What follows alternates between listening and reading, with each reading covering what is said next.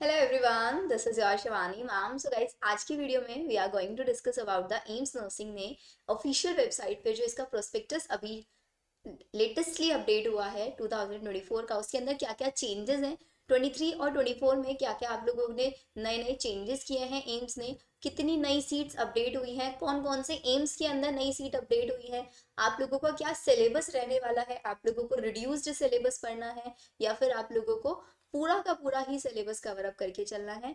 ये सारी के सारी इन्फॉर्मेशन आप लोगों को इसी वीडियो में मिलने वाली है। अगर आप मेरे चैनल पे आज आप नए हैं तो चैनल को सब्सक्राइब ज़रूर कर लेना। बिकॉज़ इसी चैनल पे आप लोगों को AIIMS nursing AIIMS paramedical C U T C T या फिर नीट जैसे जितने भी पीसीबी रिलेटेड स्टूडेंट्स के लिए एंट्रेंस एग्ज़ाम्स होते हैं उनके बारे में आप लोगों को इन्फॉर्मेशन मिलने वाली है। एकदम ऑथेंटिक एंड प्रॉपर अपडेटेड आप लोगों को मिलेगा इस चैनल के ऊपर। सो so, हम लोग स्टार्ट करते हैं। सबसे पहले मैं आप लोगों को यहाँ पे पूरा का पूरा प्रोस्पेक्टस दिखाऊँगी कि क्या क्या प्रोस्पेक्टस के अंदर चेंजेस हुए हैं।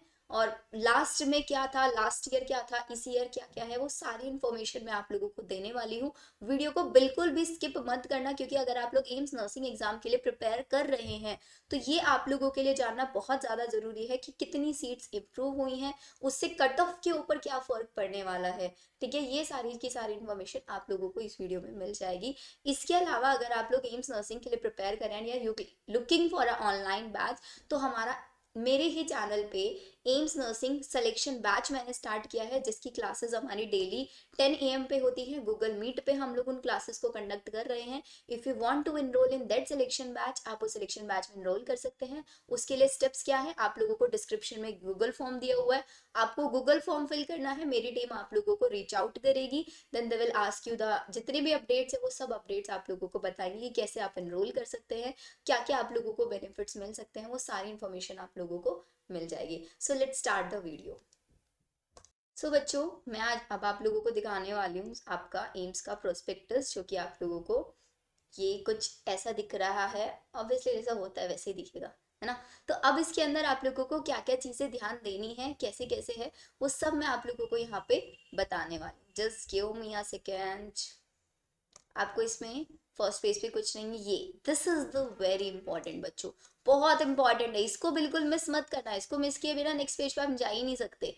क्या इन्होंने बताया हुआ देखो, ध्यान से समझना रजिस्ट्रेशन हमको पता है फिफ्थ ऑफ़ मार्च से स्टार्ट हो चुका था। क्लोजिंग डेट जो है, वो है आपकी फोर्थ ऑफ़ अप्रैल ठीक है? आप लोगों ने अपना बेसिक रजिस्ट्रेशन कर दिया है, वो एक्सेप्ट हुआ है, नहीं एक्सेप्ट हुआ है, सिर्फ़ फोर्थ अप्रैल तक ही पता चलेगा। ऑब्वियसली भाई फोर्थ अप्रैल तक होगा तो हो गई। अब ये नेक्स्ट चीज़ ये लिख के दे रहे हैं, जो हमारे बहुत सारे बच्चों को प्रॉब्लम था, कि मैम अगर हम लोगों ने बेसिक रजिस्ट्रेशन में कोई प्रॉब्लम कर दिया है तो क्या हम करेक्शन करेंगे? एग्जैक्टली exactly बच्चों, इस बार आप करेक्शन कर सकते हैं।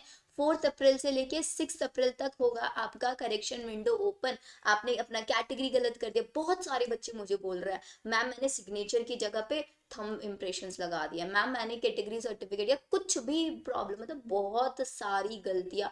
बच्चों, मेरे को एक चीज़ समझ नहीं आती है। मैं आप लोगों को हर एक चीज़ बिल्कुल लाइव यहाँ पे समझा रही हूँ कि कैसे बेसिक रजिस्ट्रेशन करना है। कोड जनरेट कैसे करना है फाइनल रजिस्ट्रेशन तक कैसे पहुँचना एक एक चीज़ मैं आपको बता रही हूँ। स्टिल मेरी वीडियोस का कमेंट सेक्शन आप लोग देखोगे, इतना भर चुका है कंप्लेन से कि मैम हमसे ये नहीं हो रहा है मैम हमसे ये नहीं हो रहा है। Every day I am receiving more than hundred messages on my WhatsApp कि मैम हमसे ये गलती हो गया है मैम हमने दोबारा बेसिक रजिस्ट्रेशन कर दिया है। जबकि मैंने स्ट्रिक्टली आप लोगों को बोला था, बच्चों, दोबारा बेसिक रजिस्ट्रेशन नहीं करना है ड्रॉप को, सिर्फ़ कोड जनरेशन करना है। Still you are making mistakes तो इसमें मैं कुछ नहीं कर सकती हूँ ना बेटा। अगर आप ये वाली गलतियाँ कर रहे हो तो। तो ये चीज़ें आप ही लोगों को ध्यान देना है। मैं इसको पेज को थोड़ा सा छोटा कर देती हूँ सो दैट आप लोगों को ये चीज़ें विजिबल हो जाए अच्छे से। Let's have a look here ठीक है? तो ये सब आप लोगों को यहाँ पे पता चल रहा है। अब नेक्स्ट चीज़ आप लोगों को क्या दिख रहा है यहाँ पे? आई थिंक डेट्स के सामने मेरा वीडियो क्लैश कर अभी बिल्कुल परफेक्ट है। करेक्शन आप लोगों को पता चल गया करेक्शन कब से कब होने वाला है। फोर्थ अप्रैल से लेके सिक्स ऑफ़ अप्रैल तक आप लोगों की करेक्शन विंडो ओपन रहने वाली है। ठीक है? नेक्स्ट चीज़ आप लोग देखेंगे। अब वही प्रोस्पेक्टस ये बोल रहे हैं, हमने 12 मार्च में 12 मार्च में नहीं आया फिफ्टीन ऑफ़ मार्च में आया है ये। फिर बोलते हैं कि फाइनल स्टेटस एक्सेप्ट और रिजेक्ट का बेसिक रजिस्ट्रेशन का वो एट अब, क्योंकि करेक्शन करोगे तो फिर से वो अप्रूवल मांगेगा। तो अप्रूवल एट अप्रैल तक मिल जाएगा। ठीक है?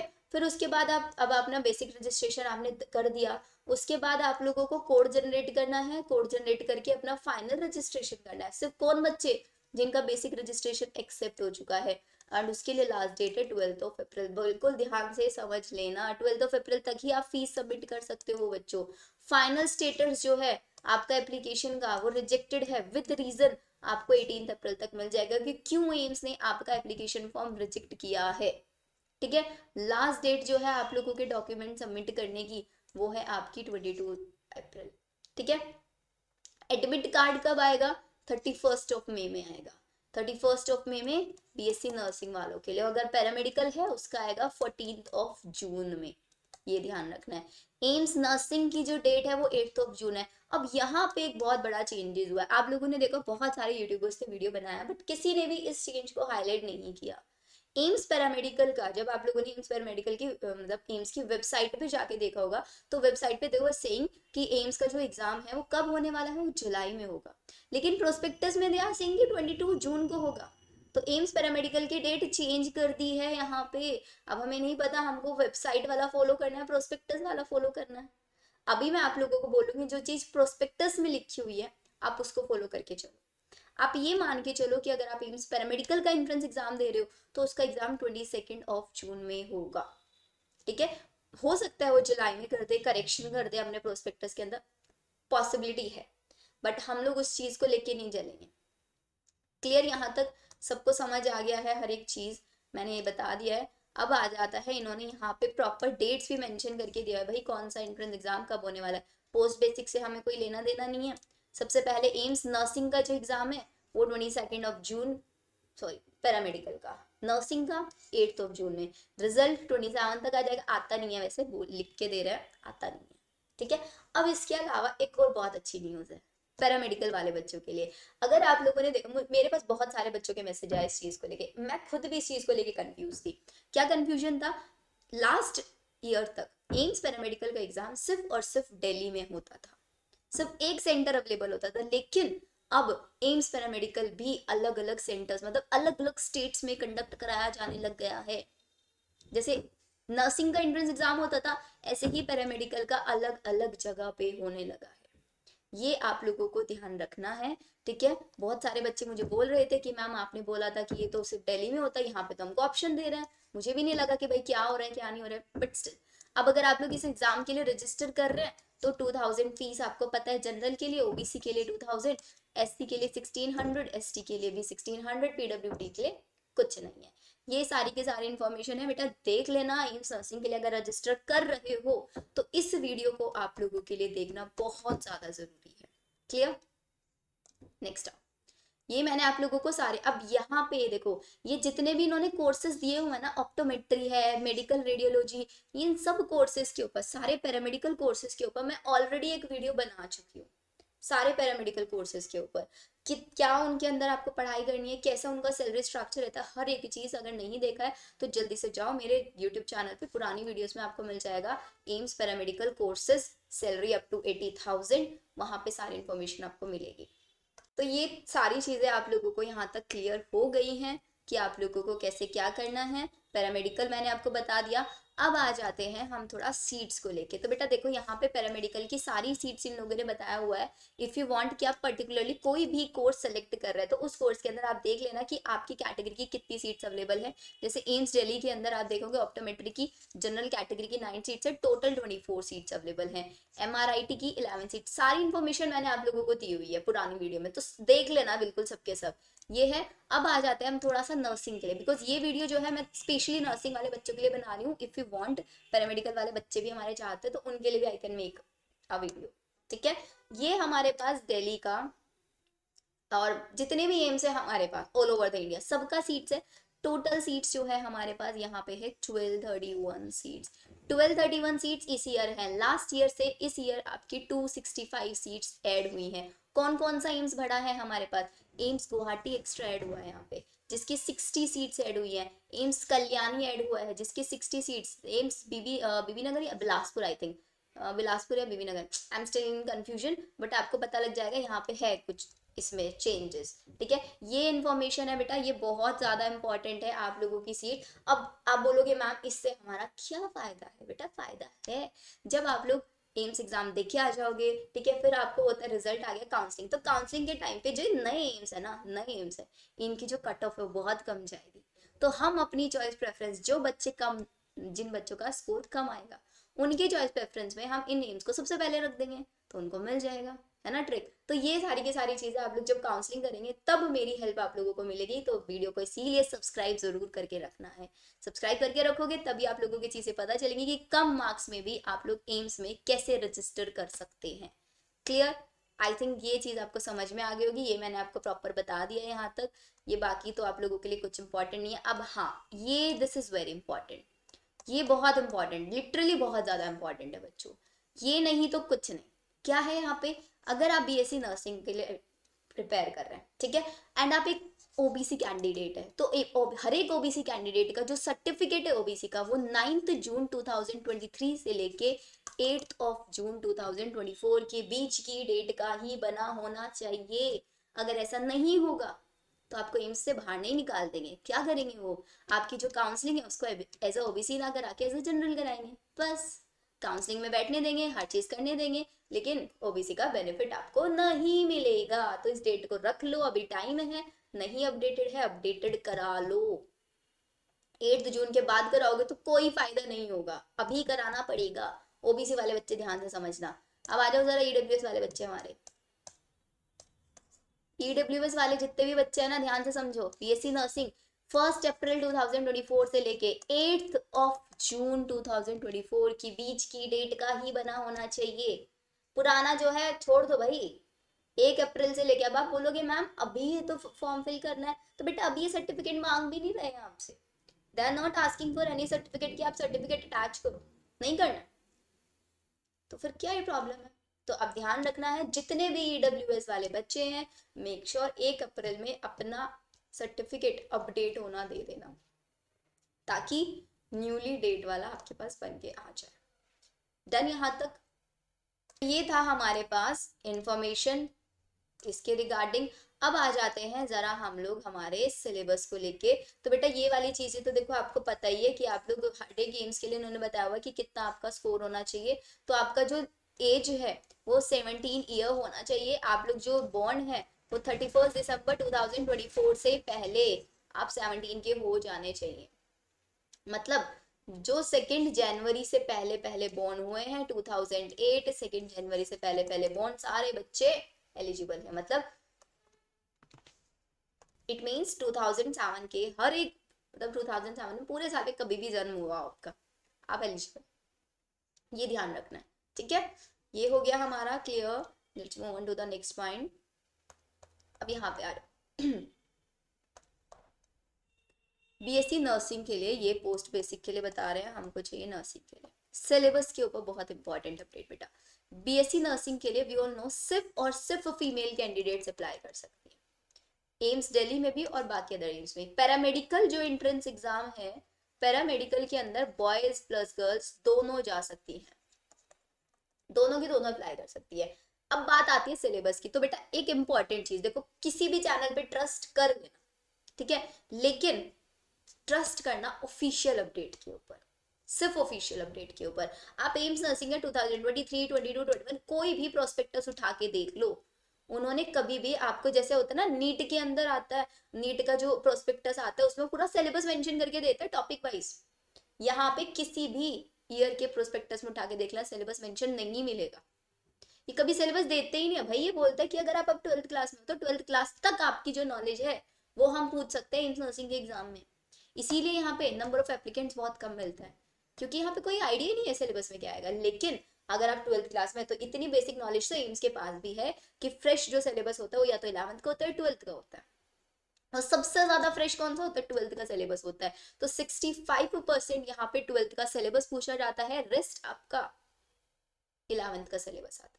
मेजरली आपका फोकस ट्वेल्थ के सिलेबस पे होना चाहिए, लेकिन इलेवंथ को इग्नोर नहीं करना है, ये बच्चे ध्यान से सुन लो।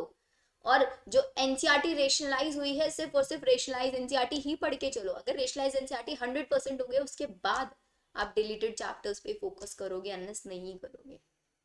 ये भी आपको ध्यान रखना ठीक है? तो सिलेबस को लेके बहुत इंपॉर्टेंट चीज़ मैंने आप लोगों को यहाँ पे बता दी है कि सिलेबस के लिए कोई ऑफिशियली अपडेट ये नहीं देते हैं। अब आ जाते हैं हम जरा सिटीज़ के ऊपर तो दीज आर द सिटीज़ जिनके अंदर एम्स एग्ज़ाम कराएगा, गुवाहाटी, पटना, रायपुर, चंडीगढ़, दिल्ली, बेंगलोर, ये सब सिटीज़ हैं, ठीक है? अब पेपर पैटर्न एम्स नर्सिंग की अगर आप बात करेंगे thirty question physics thirty chemistry thirty bio और टेन क्वेश्चन जनरल टेस्ट के टू आवर्स का सीबीटी मोड में एग्ज़ाम होगा माइनस वन बाय थ्री का नेगेटिव मार्किंग ये। पैरामेडिकल की बात करोगे, डेढ़ घंटे का एग्ज़ाम होगा वन एंड हाफ़ आवर का सिर्फ़ तीन सब्जेक्ट आएँगे फिजिक्स केमिस्ट्री बायो अगर आप पीसीएम के स्टूडेंट हो तो पीसीएम वाले बच्चे भी अप्लाई कर सकते हैं यहाँ पे. पीसीएम वाले बच्चे भी एम्स पैरामेडिकल के अंदर जा सकते हैं. ये भी बहुत इंपॉर्टेंट चीज़ है बेटा. ठीक है?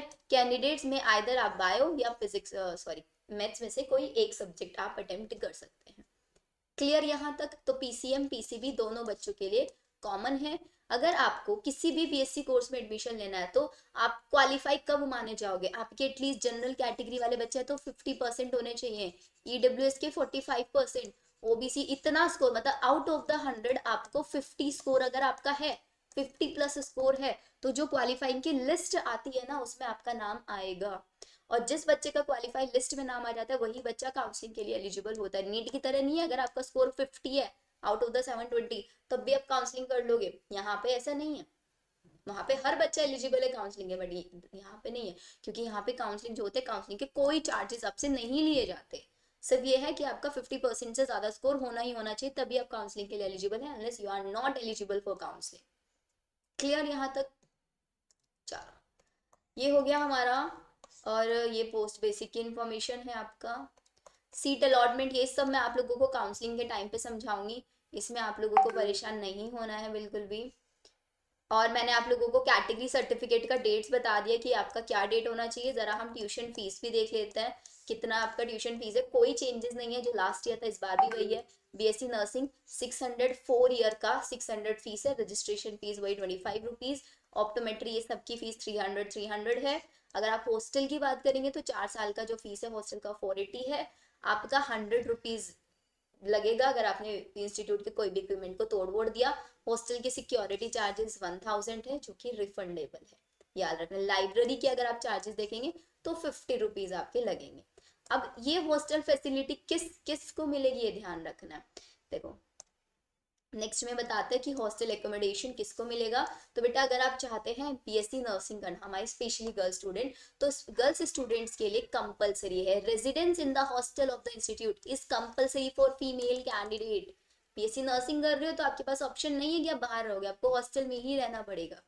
लेकिन अगर आप बीएससी पैरामेडिकल के एग्ज़ाम है हॉस्टल एकोमोडेशन दिया जाएगा आपको बट कंपलसरी नहीं है एम्स, ऋषिकेश और एम्स नगर इन दो एम्स को छोड़ के बाकी हर एक एम्स में आपको हॉस्टल मिलेगा। पोस्ट बेसिक नर्सिंग वाले बच्चों को कोई हॉस्टल एकोमोडेशन नहीं दिया जाएगा। ये चीज़ आपको ध्यान रखनी है। ठीक है? In case of any dispute जो आपका अगर बाई चांस किसी स्टूडेंट है, कोई कोई प्रॉब्लम है तो उसका हॉस्टल का जो सुपरिटेंडेंट होगा, उसका फाइनल डिसीज़न ही माना जाएगा। तो यहाँ तक मैंने आप लोगों को एम्स के जो प्रोस्पेक्टस में जितनी भी अपडेट्स आई है, वो सब बता दिया है। पैरामेडिकल की एग्ज़ाम की डेट चेंज की है इन्होंने। हमारे पास तीन नए एम्स लेके आए हैं। सीट्स यहाँ पे बढ़ गई हैं हमारे पास। तो इसका मतलब हमारे चांसेस भी बढ़ गए हैं अब एम्स में जाने के। और हम, भाई सीट कितनी भी हो। बच्चे बोलेंगे, हम बारह सौ अराउंड तो सीट है। हम कहाँ इतने बच्चे मिलाए बेटा, एक सीट हम लेके रहेंगे। अगर आप अपने अंदर ये कॉन्फिडेंस लेके आओ कि भाई, अब आप नीट के लिए सोच लो, पच्चीस लाख बच्चे हैं सीट तो मुझे एक चाहिए। एक सीट चाहिए फोर्टी एट थाउज़ेंड सीट है गवर्नमेंट एमबीबीएस की। एक सीट है, भाई फोर्टी एट में से एक सीट मुझे नहीं मिल सकती है, क्या? मिल सकती है। लेकिन कब? जब आप उसके लिए हार्डवर्क करोगे। सूरज खुद जलता है, आपको रोशनी देने के लिए। तो आपको अगर चमकना है तो आपको जलना पड़ेगा। अब जलना वो मत सोच लेना, मैम तो जलना बोल रही है। जलना इन द सेंस हार्डवर्क करना पड़ेगा। ठीक है? तो ये वाली चीज़ें